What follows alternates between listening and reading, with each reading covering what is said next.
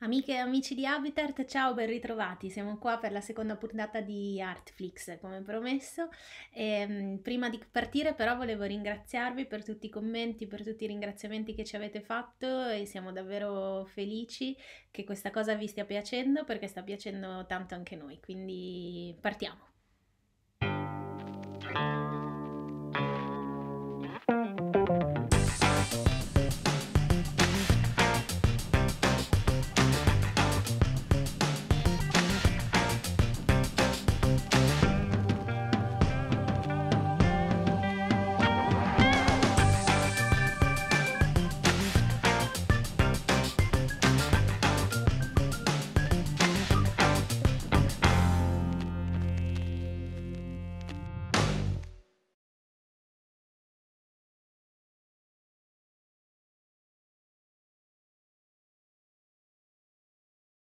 Ci eravamo lasciati, se vi ricordate, con la storia di Giovanni I Bentivoglio, che nel 1401, pur essendo figlio di una famiglia di beccai, di macellai, era riuscito a prendere il potere di Bologna. Come c'era riuscito? Da solo? Perché i bolognesi lo amavano? No, assolutamente, i bolognesi non lo amavano, eh, non tutti perlomeno, c'era riuscito perché si era alleato con una famiglia molto importante che era quella dei Visconti di Milano, in particolare con Gian Galeazzo Visconti. Um, I Visconti era parecchio tempo che cercavano di mettere le mani sulla uh, città di Bologna e c'erano anche riusciti qualche anno prima, e tant'è che gli era rimasto così il sassolino nella scarpa uh, del potere su Bologna. E, e, quindi appena avevano sentito che c'era questo personaggio che veniva dal nulla, quindi che non aveva nessun tipo di um, coinvolgimento con gli equilibri politici dell'Italia di quel tempo, avevano subito colto l'occasione e avevano inserito un piedino all'interno all'interno del governo eh, della città. Um, dura molto poco questa, questo sodalizio con i Visconti perché eh, all'inizio del 1402, quindi pochissimo tempo dopo, Giovanni I Bentivoglio fa il suo primo errore ed è un errore piuttosto grossolano. Cosa succede? Dalla città di Firenze arriva una delegazione con un, un, corredo di sacchi di monete d'oro a chiedere l'alleanza a Giovanni I e Giovanni I si allea tranquillamente con i fiorentini, non sapendo o forse consapevolmente ignorando che i fiorentini erano un nemico dei Visconti di Milano da parecchio tempo e quindi cerca di mettere così il piede in due scarpe, mm, sperando forse che a Milano la notizia non arrivasse. Ecco, non aveva calcolato che Nanne Gozzadini, che era il signore che prima di lui aveva il potere sulla città di Bologna e che quindi Giovanni I aveva spodestato, non calcolando che Nanne Gozzadini avrebbe fatto la spia. E infatti è proprio lui ad andare da Gian Galeazzo a Milano a raccontare che Giovanni I si era alleato con i fiorentini. Gian Galeazzo la prende molto male e decide di muovere guerra alla città di Bologna. Cosa significa muovere guerra a una città in quel tempo, con quegli equilibri politici nelle, nell'Italia delle signorie? Significa innanzitutto andare a chiamare a raccolta tutti i suoi alleati e vedere chi ha gli schieramenti più, più importanti, più grossi. Siamo all'inizio dell'estate del 1402 e Gian Galeazzo Visconti, insieme a tutti i suoi alleati, cominciano ad assediare la città di Bologna. Si pongono fuori dalle mura, senza dubbio, eh, ma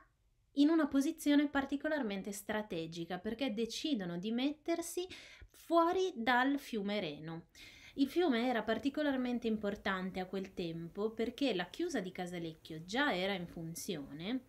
eh, e eh, da, dava così l'acqua ai canali della città di Bologna permettendo di fatto fatto eh, che la città vivesse, che facesse le sue attività e che riuscisse a, ad avere approvvigionamento di acqua. E si pone in quel punto dove ora c'è eh, via della Bastia, la zona si chiama la Canonica perché c'era anche una canonica, c'è anche via dei canonici renani infatti, perché c'era una canonica di questi agostiniani che avevano deciso di mettersi là ehm, perché la chiesa che avevano precedentemente, che era quella di San Salvatore a Bologna, era troppo poco tranquilla. C'erano talmente tante guerre intestine nella città di Bologna che avevano deciso di uscire dalle mura per mettersi in una zona più di campagna, più tranquilla, più serena, e cioè proprio nella zona di Via della Bastia. Ma perché si chiamava Via della Bastia? Perché proprio lì c'era un castello e non era casuale che fosse lì, quello era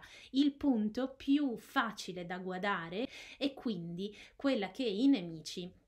avevano come obiettivo strategico per entrare all'interno della città. Ed è proprio lì che si mettono le truppe di Gian Galeazzo Visconti e di tutti i suoi alleati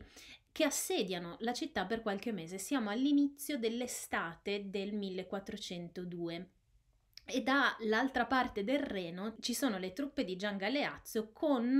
eh, le truppe dei Malatesta di Rimini e le truppe dei Gonzaga da Mantova che si erano portati dietro anche le città di Carpi, di Sassuolo, di Spoleto, più tutta una serie di fuoriusciti dalla città di Bologna eh, che non erano d'accordo con il governo di Giovanni I Bentivoglio, che quindi non vedevano l'ora che qualcuno arrivasse a spodestare il nostro povero Giovanni I. Le truppe erano numerosissime, c'erano veramente tantissimi soldati che minacciavano di entrare eh, in città. La battaglia scoppia il 26 di giugno del 1402, quando finalmente gli assediati naviganti riescono ad attraversare il fiume e eh, Giovanni I si era preparato e quindi è arrivato con le sue truppe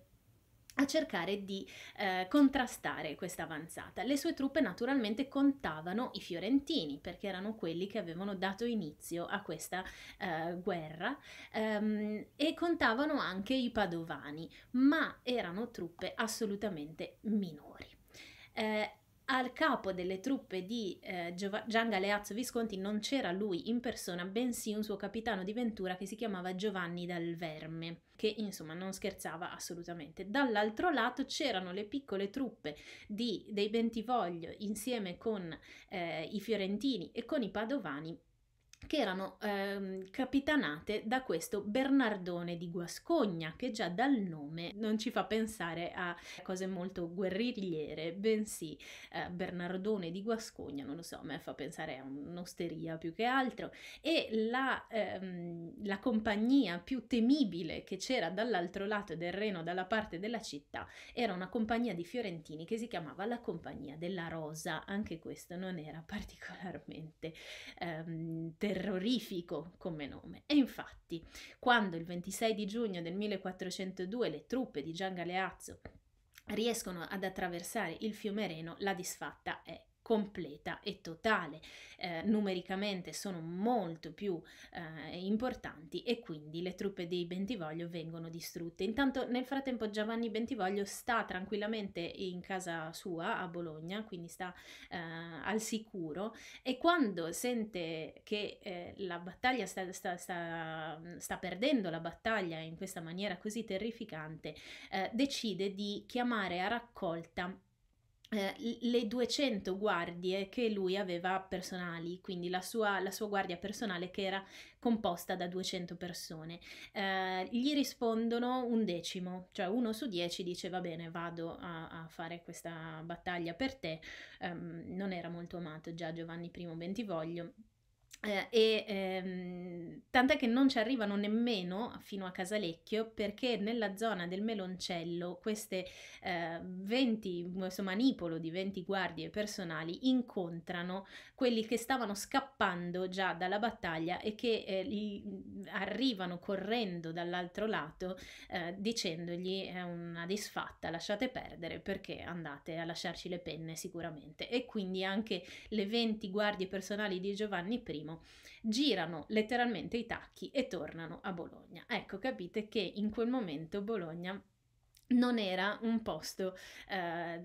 molto sicuro per Giovanni I, che infatti eh, si vede assediato da tutti i punti di vista e viene addirittura consegnato alla furia popolare dei cittadini bolognesi, letteralmente, nel senso che viene portato in piazza Maggiore e tutti i bolognesi che già Mm, lo odiavano abbastanza prima, si, ehm, si, sfogano su di lui e gli fanno fare una fine terribile, tant'è che dice la leggenda che c'era addirittura un barbiere che eh, ce l'aveva tanto con lui che gli stacca un orecchio e minaccia di farci una bracciola. Ecco, Giovanni I Bentivoglio purtroppo ci lascia così. Potremmo pensare che questa sia la fine dei Bentivoglio e invece no, è solo l'inizio, perché a Bologna rimane il figlio di Giovanni I che si chiama Anton Galeazzo ehm, in quel momento naturalmente non può restare così libero nella città di Bologna, ma decide di eh, andare ospite dagli amici malvezzi a Castelguelfo e nel frattempo fa la sua vita di eh, giovane normale. Sappiamo che si laurea perché c'è il suo documento di laurea e sappiamo che ha eh, una moglie che era una Gozzadini, quindi se vi ricordate era della famiglia di Nanne Gozzadini, quello che Giovanni I aveva spodestato e che era andato a fare la spia dai Visconti, un po' per calmare le acque, probabilmente Anton Galeazzo sposa sua figlia, ma nel frattempo ha anche diverse amanti. Una di queste amanti un giorno ha un figlio maschio eh, e non si sa bene di chi sia e quindi il suo amico Gaspare Malvezzi e Anton Galeazzo si giocano la paternità ai dadi e vince eh, Anton Galeazzo che quindi da quel momento in poi ha un figlio maschio che si chiamerà Annibale Bentivoglio. Prendetevelo e ricordatevelo per le prossime eh, puntate. Nel 1416 Anton Galeazzo decide che i tempi sono maturi per tornare eh, all'attacco a Bologna. Non ci torna come signore Bentivoglio, ma ci torna a capo di uno schieramento che si chiama lo schieramento dei riformatori, quindi a capo di un'alleanza di diversi giovani, di diverse famiglie che decidono di ribellarsi contro l'antipapa Giovanni XXIII. Ci riescono, arrivano al potere della città, ma le cose non sono tranquille perché eh, come potete immaginare, all'interno della stessa Bologna ci sono fazioni diverse che ehm, desiderano l'alleanza con uno o con, eh, o, o con l'altro. E quindi nel 1420 Anton Galeazzo fa il suo di errore eh, e eh, dopo una rivolta interna decide di mandare in esilio l'intera famiglia dei Canetoli e di impiccare alcuni dei suoi eh, avversari politici. Li impicca sulle mura del mh, mm, Palazzo del Podestà di cui vi ho parlato eh, la volta scorsa. Questa impiccagione così diretta, così a sangue freddo, non piace affatto ai bolognesi che lo cacciano dalla città. Da quel momento in poi Anton Galeazzo sarà un po' ramingo perché va prima a rifugiarsi a Castel Bolognese insieme agli esiliati e eh, ai banditi addirittura e poi decide di intraprendere la professione di capitano di Ventura, la stessa che aveva fatto eh, Giovanni Dal Verme per Gian Galeazzo Visconti. Eh, diventa capitano prima dei dei fiorentini, poi dello Stato Pontificio, fa un po' di, di, di guerre così um, un po' a caso, uh, fino a che nel 1435 decide che è ora di smettere con questa professione e di tornare nella città di Bologna. Rientra a Bologna um, senza velleità di governo, rientra e basta a vivere, forse stava aspettando il momento giusto per ritornare all'attacco, eh, tant'è che eh, il legato papale, il vescovo eh, che allora stava a eh, capo della città, eh, non è convinto di questo ritorno così pacifico e lo lascia sopravvivere la bellezza di 19 giorni. Allo scoccare del diciannovesimo giorno gli manda un messaggero che gli dice che era desiderato nel palazzo comunale. Anton Galeazzo prende e va a sentire che cosa gli deve dire il vescovo Daniele Scoti, eh, il quale lo lascia eh, salire le scale di Palazzo Comunale e una volta arrivato in cima lo fa decapitare. E così finisce anche eh, la storia di Anton Galeazzo eh, Bentivoglio, il quale però ci lascia una tomba. Abbiamo, uh, mentre di uh, Giovanni I Bentivoglio non c'è rimasto che un disegno, forse, che era il suo ritratto, quindi sostanzialmente c'è rimasto molto poco, di Anton Galeazzo abbiamo una tomba meravigliosa che viene affidata allo scultore Jacopo della Quercia. Jacopo della Quercia era uno scultore senese e si era trasferito ehm, a Lucca molto giovane, si era trasferito da bambino con il padre ed aveva cominciato a fare lo scultore, il padre era un intagliatore. Ehm, fino al momento in cui è stato esiliato da Lucca perché aveva picchiato a sangue un cittadino lucchese e quindi è costretto a, um, a, a, spostarsi da un'altra parte. Inizialmente va a Firenze, partecipa anche lui nel 1401 al concorso per la porta nord del Battistero di Firenze, che è un concorso importantissimo perché è l'inizio del Rinascimento, è il concorso a cui si presentano Ghiberti, ma soprattutto Brunelleschi, eh, che crea la prima scultura con una concezione di per- prospettiva matematica, quindi è un concorso importantissimo, ci partecipa anche Jacopo della Quercia, eh, il quale però la, la sua formella con cui aveva partecipato a questo concorso non è rimasta. Da Firenze poi si sposta a Ferrara, in cui nel 1403 eh, crea eh, la Madonna della Melagrana, che tra, dai ferraresi è chiamata la Madonna del Pane, perché pare che il bambino Gesù abbia in mano un pezzettino di crocetta ferrarese, è, un, è, è meraviglioso. Lo stile che sta perseguendo. Eh, Jacopo della Quercia è uno stile che potremmo chiamare gotico internazionale, tant'è che ehm, viene spesso associato a uno scultore eh, che si chiama Klaus Sluter, che è uno scultore borgognone, quindi della zona di Digione, che è uno degli scultori più belli che ci sono in quel momento fuori d'Italia. Eh, e in quanto è fuori d'Italia spesso viene dimenticato soprattutto dagli storici italiani eh, ma è uno scultore meraviglioso che è appunto uno dei eh, più importanti di questo stile che si chiama gotico internazionale perché appunto è internazionale. Che cosa, eh, da che cosa è dovuto? Diciamo che eh, la caratteristica più importante sono queste linee molto eleganti che di solito eh, si ritrovano eh, così sinuose nelle vesti della Madonna e, e, del, e, del, bambino. Lo vediamo molto bene soprattutto nella Madonna della Melagrana o nella Madonna del Panino del, di Jacopo della Quercia. Ecco, ehm, proprio questo scultore è nel 1425 a Bologna perché era diventato particolarmente famoso dopo aver ehm, realizzato due sculture, una a Lucca di nuovo, che è il eh, monumento ad Ilaria del Carretto, e l'altra è a ehm, Siena, che è la Fonte Gaia, che sta proprio all'interno di Piazza del Campo. Um,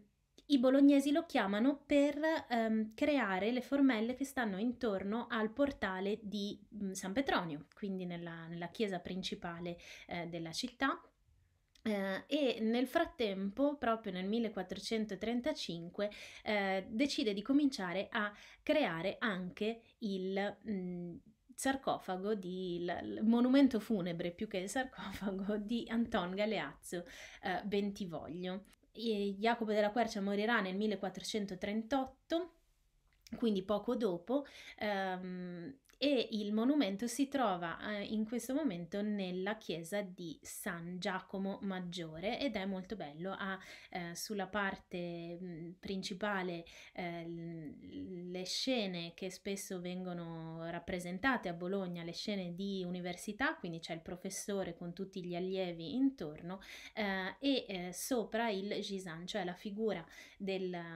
del, del ritratto, quindi del proprietario del, del monumento funebre che appunto riposa e sopra ancora una Madonna con bambino. È un monumento meraviglioso Uh, e, lo stile di Jacopo della Quercia uh, di, viene spesso dimenticato perché lo stile più importante all'inizio del 400, soprattutto se si parla di scultori toscani, è uno stile uh, un po' diverso, lo stile appunto di Donatello, lo stile di Brunelleschi, quindi uno stile molto più sobrio, molto più matematico, molto più pensato, mentre quello di Jacopo della Quercia rimane appunto nella zona del gotico internazionale che fino a qualche tempo fa era vista uh, un pochino arretrata, in realtà è un altro capitolo che si svolge um, parallelamente a quella, a quella a, alla prospettiva matematica che invece stanno studiando uh, più a Firenze e più in quella, in quella, zona. È tanto importante che sarà proprio Michelangelo a ricordare um, lo stile di Jacopo della Quercia perché eh, sappiamo che Michelangelo da molto giovane fa un passaggio a Bologna in cui lascia qualche sculturina eh, nella, nell'arca di San Domenico eh, e ehm, pare che abbia osservato molto bene anche i rilievi sulla mh, facciata di San Petronio, da cui dovrebbe aver preso questo stile, si, si dovrebbe essere ricordato quando eh, nella Cappella Sistina, nelle sue opere più importanti, crea queste figure eh, che si chiamano tecnicamente ipertrofiche, e cioè con i muscoli molto accentuati. Ecco, questa era già una cosa che Jacopo della Quercia aveva studiato quasi un secolo prima eh, nella, nel portale di San Petronio eh, e che si ritrova anche nel monumento funebre di Anton Galeazzo Bentivoglio. Le storie di oggi finiscono qui. Mm, ci vediamo nella prossima puntata in cui vi, ric- vi, racconterò altre storie di Bentivoglio e altre storie che vi prometto che non finiranno bene. Vi saluto, grazie e arrivederci alla prossima volta.